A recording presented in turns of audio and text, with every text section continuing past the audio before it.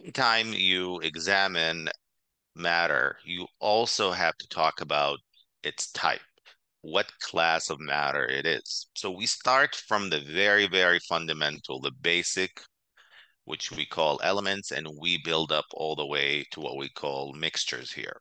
So let's begin with elements. Elements are basically the lowest form of matter that you can get to. Okay, so you start with elements. So elements are substances that cannot be broken down into simpler, simpler substances. All elements known um, are shown in the periodic table in their symbolic notation. So they have symbols. So for example, carbon has the letter C and copper has Cu. We will once again talk about these more in depth in the next chapter. So if you uh, were to talk about elements, so you can think of them at least as a way of representing them is to uh, draw a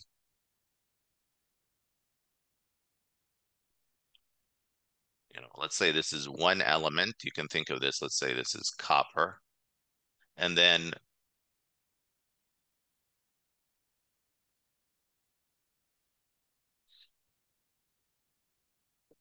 carbon, you know, for example, can be this smaller atom, which is C.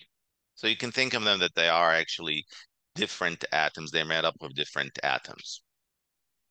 As far as now compounds, so when you say, when you start compounding, meaning you bring these atoms and put them together, these elements and put them together and you build compounds. So for example, if you have water, right, that's a combination of hydrogen and oxygen. Sulfuric acid, it's the combination of hydrogen, sulfur, and oxygen. Carbon monoxide is carbon and oxygen. And you need to know that um, although there are two or more different types of element of, of atoms present, it is important to realize that the compound has a fixed composition, right? So meaning the composition of water is always the same if you have one oxygen atom, so here's, let's say, the oxygen, it will always be combined with two hydrogen atoms. So this is a compound. You see how it is. So planet Earth has water on it. Mars has water on it.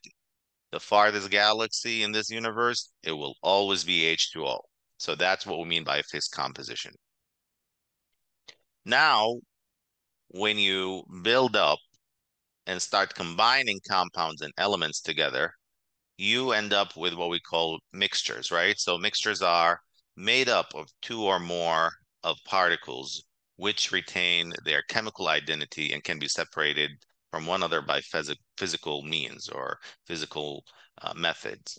Uh, so uh, basically, if you uh, bring, let's say, oil and water and put them together, oil and water, water is already made up of H2O, oil is made up of lipids and fats, etc. Uh, now you're combining these two together, right? But you're not changing the identities. You still have water and you still have oil. So they're not changing. Chemically, they're not changing. Uh, so, uh, and then you can separate them, right? You can separate oil of water by decanting, pouring out the water first, or the liquid, the oil first, or uh, if you, let's say, have a solid and a liquid, you can filter that. We're going to get to these in the next video. Uh, so let's go to homogeneous mixtures. So these are mixtures with a uniform composition throughout, meaning that if you, let's say if you uh, have Kool-Aid and you dissolve that in water and it's prepared properly, okay, then that Kool-Aid should have been dispersed evenly throughout the pitcher, right? Throughout the container. So another name for homogeneous mixtures is solutions.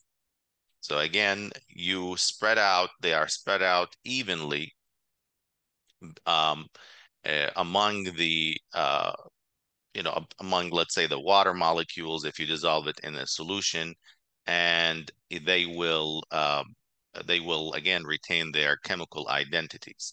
So if we were to uh, you know look at, for example, trying to draw here.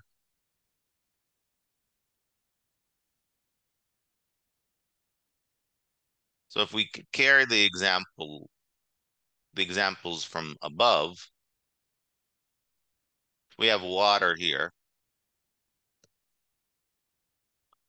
Now let me put two.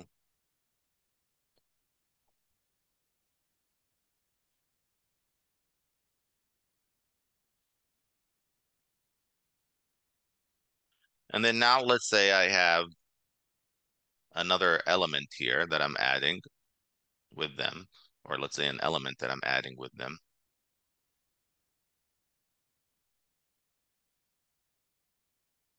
So if you notice here, we have a compound, we have an element, they're mixed together, but they are mixed evenly. You see on the top here, at top here, you have the compound, and at the bottom, you have the element. So that's what we mean by homogeneous mixture.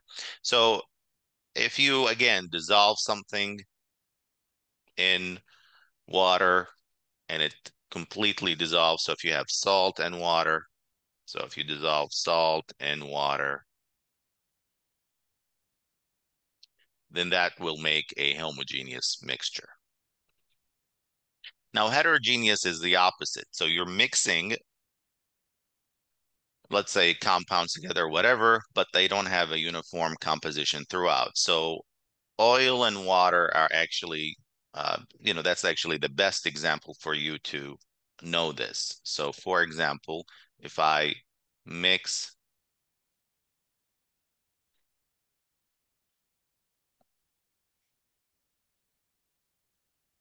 oil here. And then underneath, water will sink to the bottom because it's more dense. So again, you see that it's not uniform throughout here. It is not uniform throughout. Uh, you can also visualize this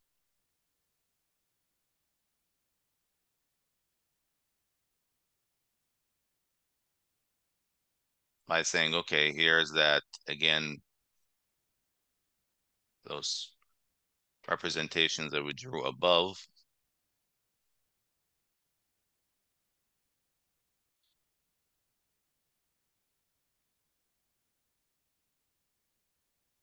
All right.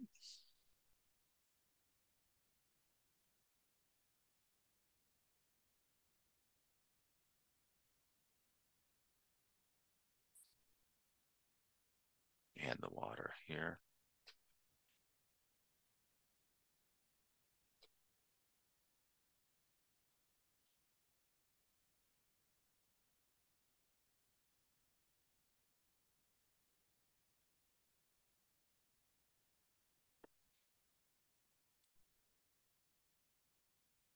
And now you let's say you have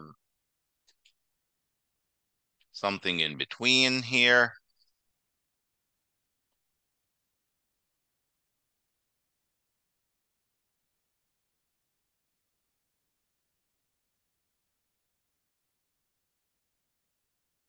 Just bear with me here.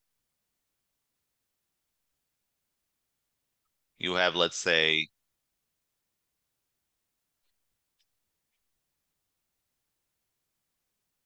another one here. And then let's say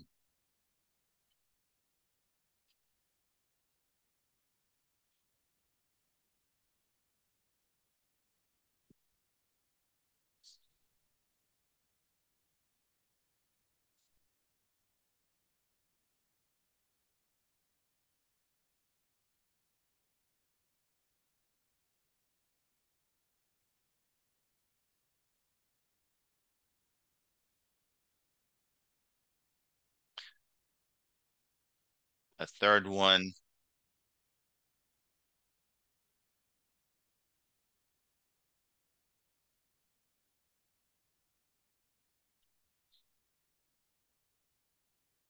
and you notice they're not actually distributed evenly. So that's that's exactly what's happening here with uh, heterogeneous mixtures.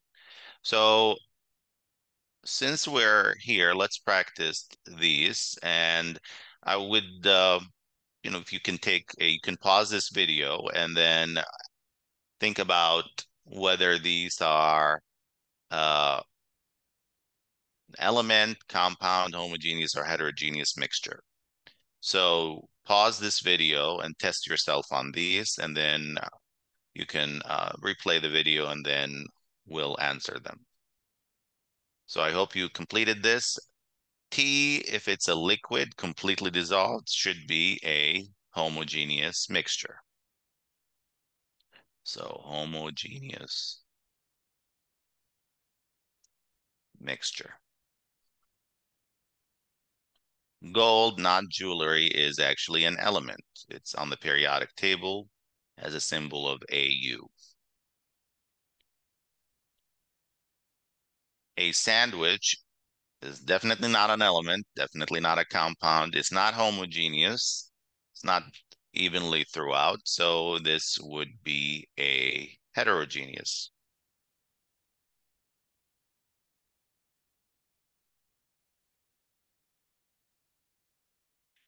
And sodium bicarbonate, this one has sodium, has carbon in it, has oxygen in it. It has the symbol, which is baking soda.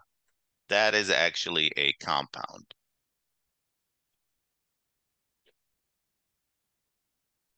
And to finalize this, look here, you see a flow chart with a videos, so, sorry, not videos, with uh, the differences between elements and compounds with examples with also visual representations.